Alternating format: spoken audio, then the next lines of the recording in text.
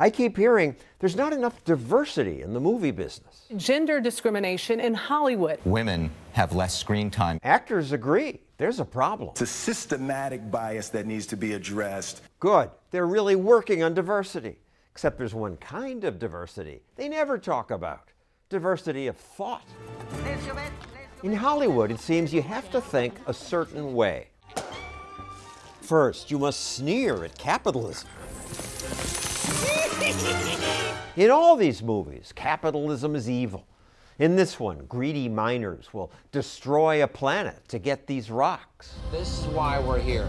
Because this little gray rock sells for 20 million a kilo. To get the rocks, they'll kill the beautiful, spiritual natives. Those savages are threatening our whole operation. Director James Cameron's now making another Avatar movie. He says the mining company will be the villain again. Avatar 2 and 3? Two, three, four, five. Yeah. Movie makers are so hostile to capitalism, they butcher basic facts. In Amazon's just released season two of Jack Ryan, the hero asks this about Venezuela. Why is this country in the midst of one of the greatest humanitarian crises in history? Socialism? No, the show's answer is nationalism. After rising to power on a wave of nationalist pride, this guy has crippled the national economy. Nationalist pride, no mention of socialism.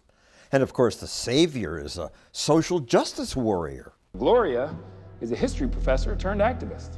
She's running against him on a social justice platform. This reverses reality.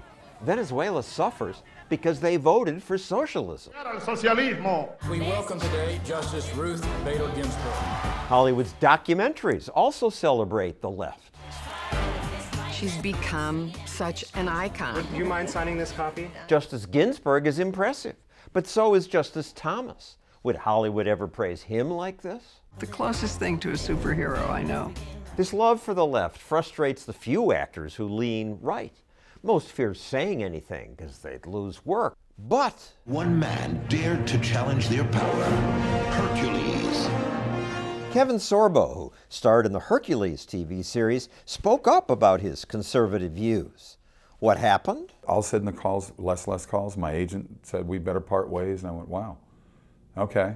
And I made a lot of money for these guys. You ask him, why do we have to Oh, I knew why. They told me why.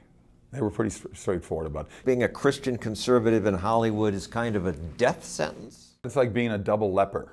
I think that's what it's like. What do you mean a double they- leper? They want nothing to do with me. He's even been banned from conventions. I turned down Sorbo. He's pals with Sean Hannity. You've been banned from Comic Con? They have their hate, right? They're the ones who say we need to be tolerant, we need to have love, and all those kind of stuff. They're the most anti-tolerant people and hateful people that we have right now. So much so that even the liberal media has noticed the bias. Just the last 10 years, it's just exploded. Are you even more ruthless than you used to be? Every movie I've ever seen now, every TV show I seem to see, doesn't matter what it is, there's always some point, some place where they'll um, pretty much degrade anybody who's conservative or Republican. Here's President Bush. So we're gonna do this thing, or what? I mean, is this happening? We can make this work.